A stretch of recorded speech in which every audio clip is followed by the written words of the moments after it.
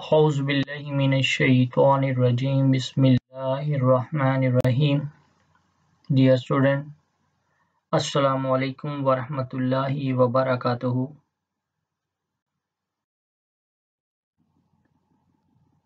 Dear student, today it's our sixth lecture on X-ray diffraction of inorganic material chemistry and the course code is CAM 3115.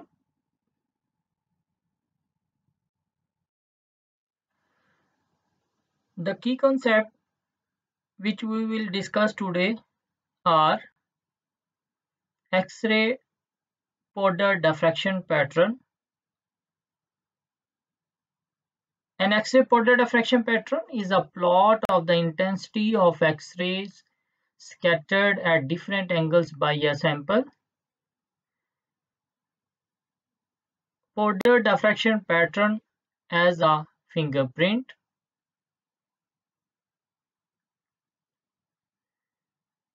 Fingerprint powder diffraction pattern will be justified by considering the different assignment like Powder diffraction pattern of a compound is its fingerprint and can be used to identify the unknown compound. The second assignment is each phase produces a unique diffraction pattern and third one is the diffraction pattern of a mixture is a simple sum of the diffraction patterns of each individual phase. Then atomic arrangement. Mean X-rays scattered from atoms in a material and therefore contain information about the atomic arrangement. What is the constructive interference? Interference at uh, specific angles. Diffraction occurs when light is scattered by a periodic array with long range order producing constructive interference at specific angles. After that we will discuss long range orderly periodic arrangement of atoms mean crystalline materials are characterized by the long range orderly periodic arrangement of atoms. Then unique crystal structure. The diffraction pattern is a product of the unique crystal structure of a material. Then what are the planes of atoms? Diffraction pattern calculations treat a crystal as a collection of planes of atoms then significance of peak shape in XRD. Preparing a powder specimen. Sample collection and preparation. Steps in powder preparation. What is annealing? And in the last, some assignments are given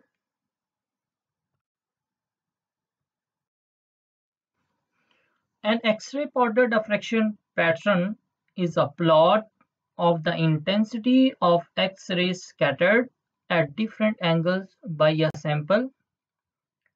The detector moves in a circle around the sample. The detector position is recorded as the angle 2 theta. The detector records the number of X-rays observed at each angle 2 theta. The X-ray intensity is usually recorded as counts or as counts per second. Many powder diffractometers use a Bragg-Brentano parafocussing geometry. To keep the X-ray beam properly focused, the incident angle omega changes in conjugation with 2 theta. This can be accomplished by rotating the sample or by rotating the X-ray tube. This is the geometry of Bragg parafocussing instrument. This is the X-ray tube. Here is the sample and this is the theta omega angle omega. And here is the angle 2 theta. Detector move 2 theta to note the diffracted beams. And in the result we get this diffractogram which is a plot of the intensity which is count r as count per second against 2 theta.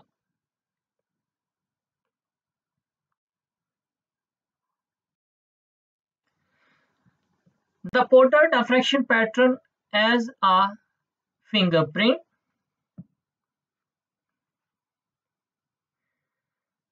To justify this statement that the, the Powder diffraction pattern mean the pattern which we get as a result of diffraction from a compound is a fingerprint of that compound.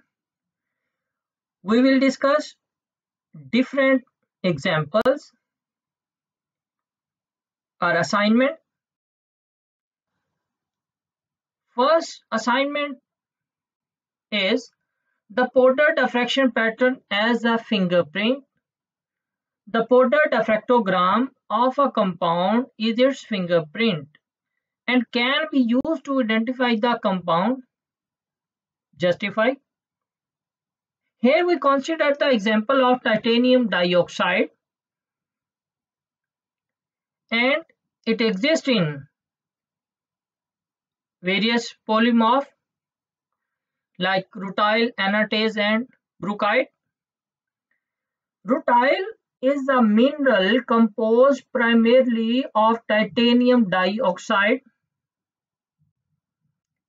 It is the most common natural form of titanium dioxide. Anatase. Anatase is a polymorph with two other minerals, the other two being brookite and rutile. The minerals rutile and brookite as well as anatase all have the same chemistry, mean titanium dioxide, but they have different structures Then third one is brookite. Brookite is one of the three main forms of titanium dioxide. It forms distinct and unique crystals and is often associated with the two other minerals. It is polymorphous with rutile and anatase. Brookite almost always forms together with quartz and is occasionally entirely included within a quartz crystal.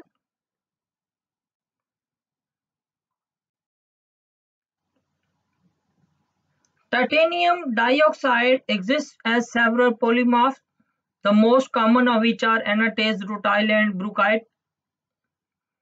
The experimental diffraction angles for the six strongest reflection collected from each of these different polymorphs are summarized in the table. Here, first is rutile, and these are the reflections, strongest reflection, and then anatase, these are the reflection in case of anatase, and after that is the brookite with these reflections. The Powder X-ray diffraction pattern collected using 154 pm X-ray radiation from a sample of from a sample of white paint known to contain titanium dioxide in one or more of these polymorphic forms showed the diffraction pattern in following figure. Identify the titanium dioxide polymorph present.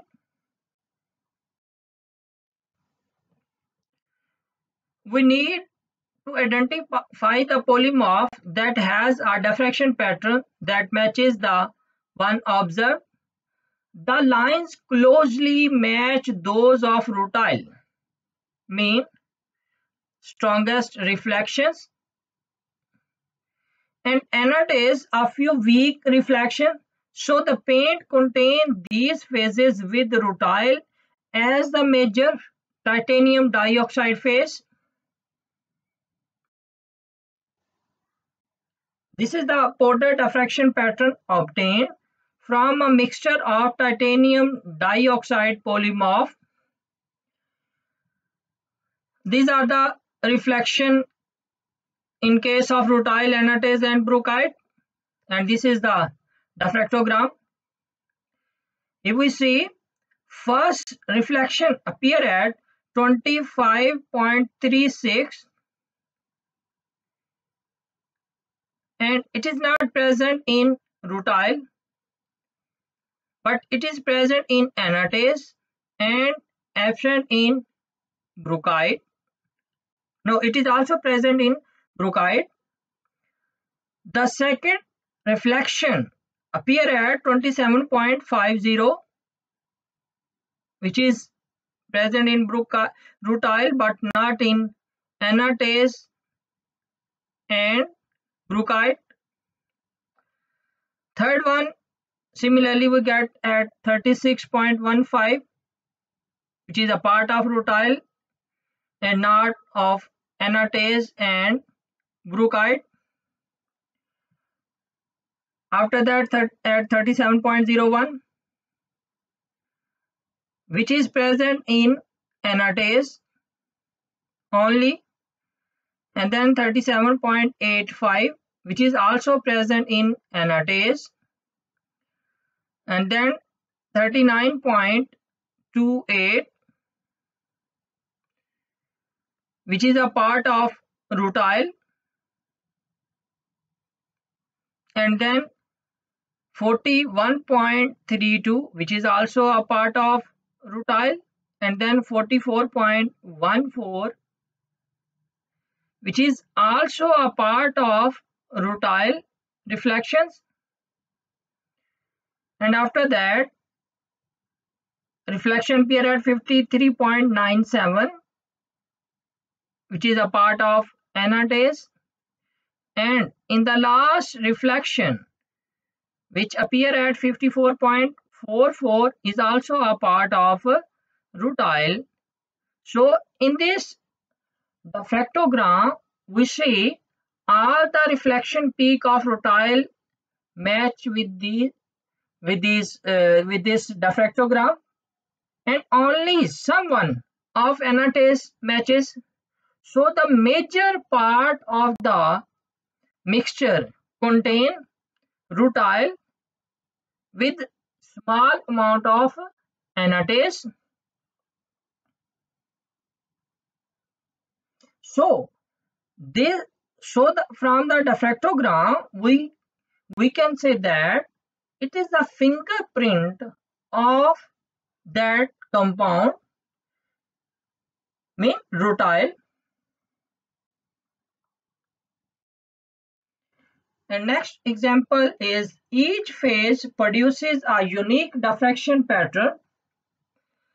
A phase is a specific chemistry and atomic arrangement, quartz, cristobalite, and glass are all different phases of silicon dioxide.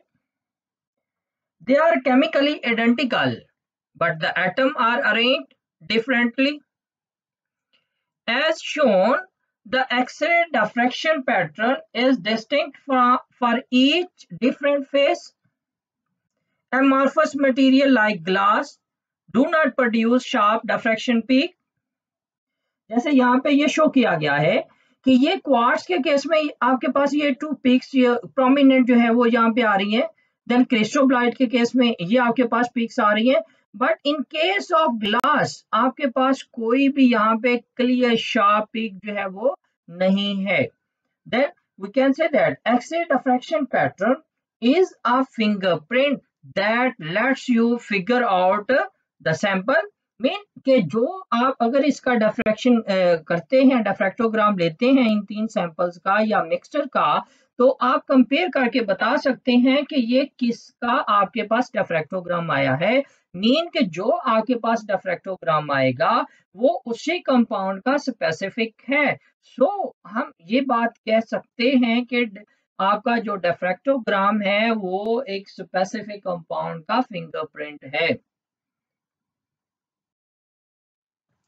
Third example, in case of mixture, the diffraction pattern of a mixture is a simple sum of the diffraction pattern of each individual phase ये वही last example जो second वाली हमने देखी है कि ये आपके पास क्वार्ट्स का है ये क्रिस्टोब्लाइट है और ये ग्लास का है। अगर हम मिक्सचर का कर लें तो वहाँ पे हमने इंडिविजुअल देखा। तो यहाँ पे अगर हम मिक्सचर का देखें तो मिक्सचर के केस में हमारे पास ये चीज़ आ जाएगी।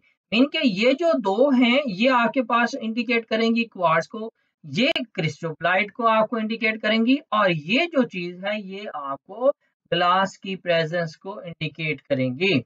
From the X ray XRD pattern you can determine what crystalline phases are are in a mixture how much of each crystalline phase is in the mixture if any amorphous material is present in the mixture.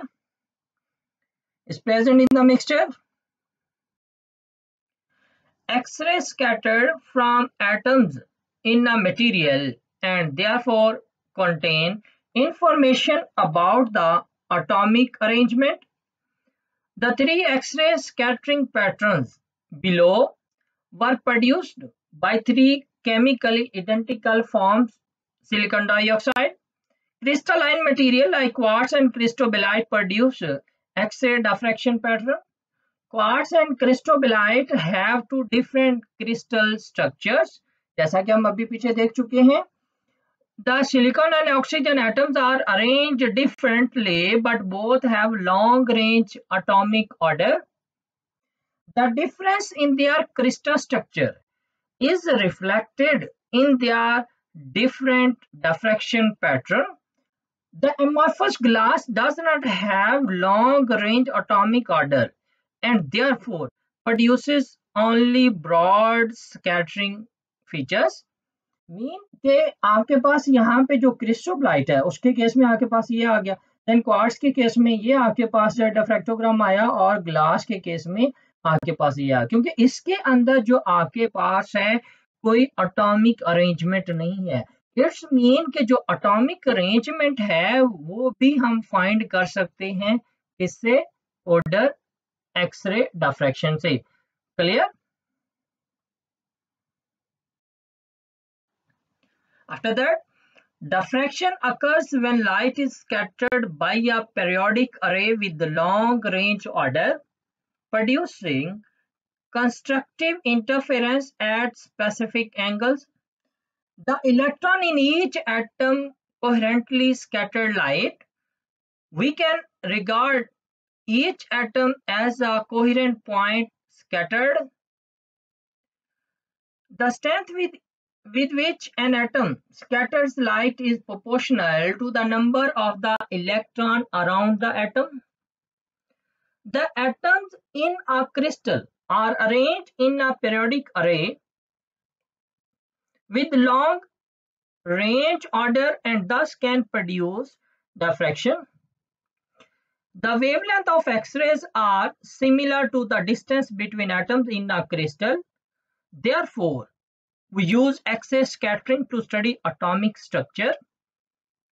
The scattering of X-rays from atoms produces a diffraction pattern which contain information about the atomic arrangement within the crystal.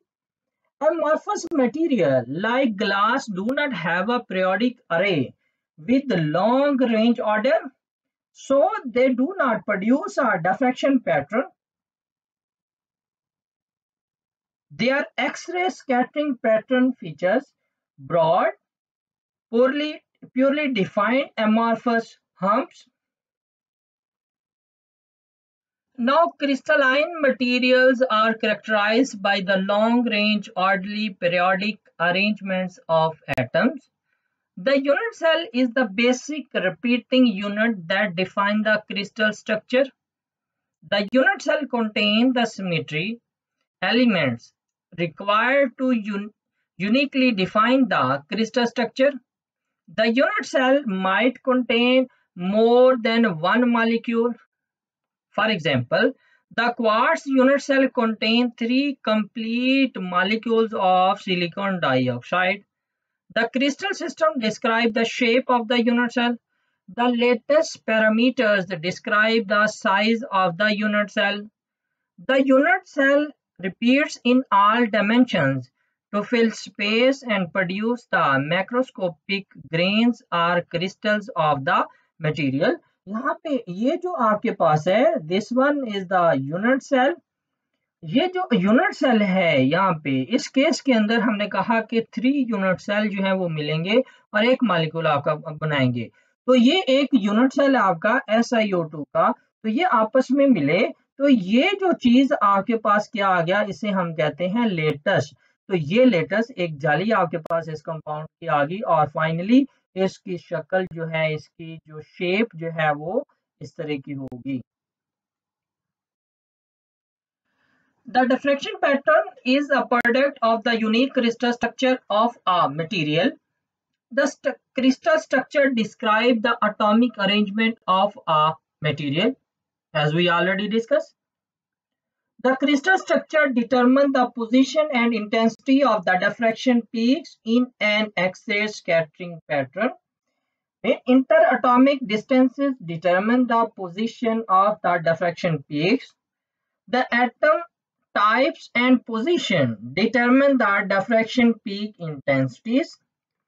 Diffraction peak width and shape are mostly a function of instrument and microstructural parameters. Is it clear?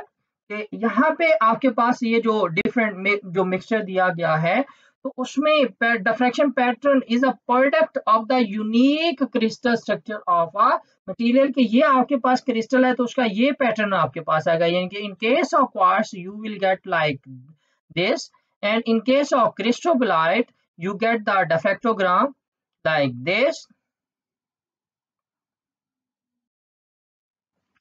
Diffraction pattern calculation treat a crystal as a collection of planes of atoms. Each diffraction peak is attributed to the scattering from a specific set of parallel planes of atoms. Miller indices mean HKL are used to identify the different planes of atom. Observed diffraction peaks can be related to planes of atom to assist in analyzing the atomic structure and microstructure of a sample.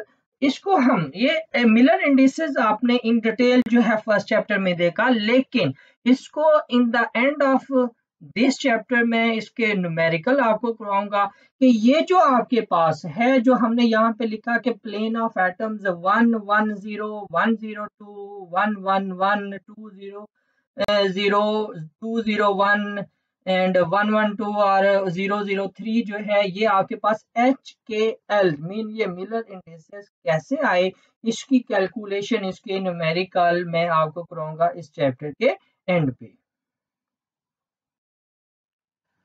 What is the significance of peak shape in XRD? Peak position determined by size and shape of unit cell mean d-spacing and systematic absences. Peak intensity is determined by the atomic number and position of various atoms within the unit cell and then the peak width determined by instrument parameters, temperature and crystal size, strain and inhomogeneities.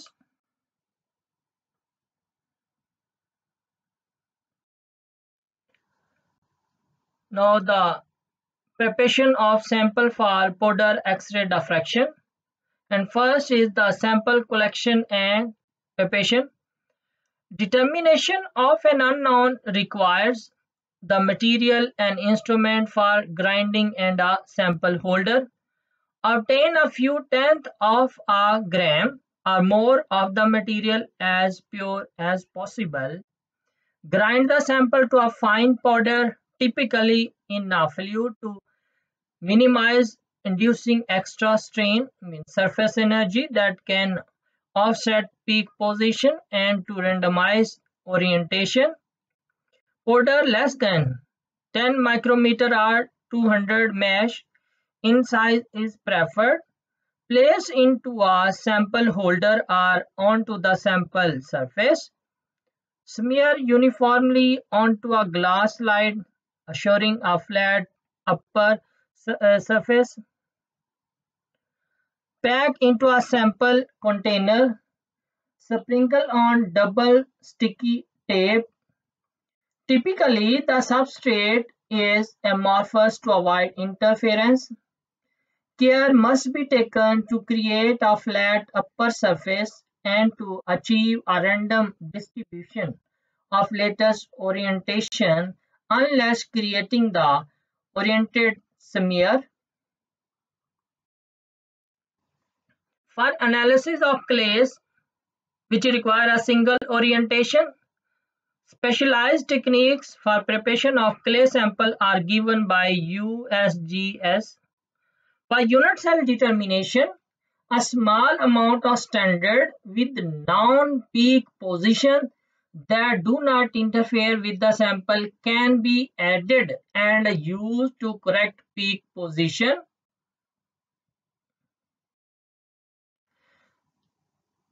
Powder preparation mean preparing a powder specimen. It need to be powder. It need to be pure powder it's nice to have about 1 by 2 gram of sample mean 0.5 gram of sample but one can work with less the powder need uh, needs to be packed tightly in the sample holder ये यहाँ पे जो इसमें ये sample grinding की गई है। ये डिफरेंट होल्डर यहाँ पे शो किए गए आगे इसमें फर्दर डिटेल के साथ देखते हैं। An ideal powder sample should have many crystallite in random orientation. Crystallite हम उससे कहते हैं, जैसे आपके पास क्रिस्टल है तो एक प्रॉपर अरेंजमेंट ऑफ़ एटम्स आपकी है। और अगर आपके पास पाउडर स्पेसिमन आपका है तो उसमें भी कुछ जगह पे आपकी ऑर्डर अरेंजमेंट होती है एटम्स की। तो वो जो स्मॉल पोर्शन जहाँ पे आपका एक ऑर्डर एग्जिस्ट करता है, उसे हम क्या कहते हैं? क्रिस्टलाइट्स The distribution of orientation should be smooth and equally distributed amongst all orientations. If the crystallite in a sample are very large, there will not, not be a smooth distribution of crystal orientations. You will not get a powder average diffraction pattern. Crystallite should be less than 10 mm in size to get good powder statistics. Large crystallite sizes and non-random crystallite orientations both lead to peak intensity variation. The Mayer diffraction pattern will not agree with that expected from an ideal powder. The Mayer diffraction pattern will not agree with reference pattern in the powder diffraction file database. Powders. If the particle size is 0.1 micrometer, it results in peak broadening and if it is less than 40 micrometer then less diffraction occurring bulks smooth surface after polishing specimens should be thermal annealed to eliminate any surface deformation induced during polishing. Now preventive measures. Loose powders will give poor intensities.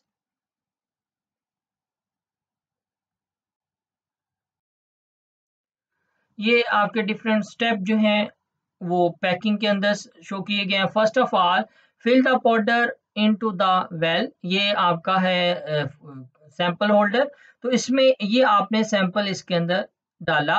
Then remove the excess powders and then align the sample surface plane ये आपके पास sample holder है। इसको आपने यहाँ पे रखा। ये arrangement आपकी जो है ओरिजिनल मैन्युफैक्चर सैंपल होल्डर है। देन यहाँ पे उसके ऊपर आके आप ग्लास लाइट से उसको प्रेस करेंगे। And after that the sample is ready for XRD measurement in the uh, fourth step. Powder sample preparation on aluminium holder.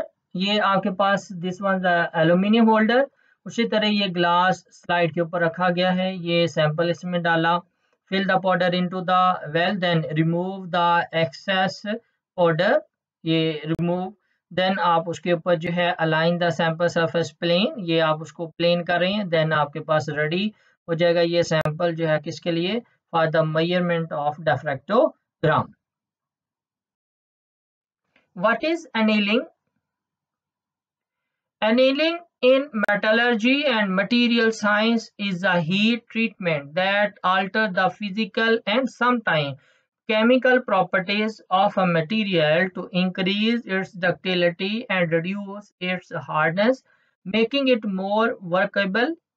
It involves heating a material to above its recrystallization temperature, maintaining a suitable temperature and then cooling in annealing, atoms migrate in the crystal lattice and the number of dislocation decreases, leading to the change in ductility and hardness.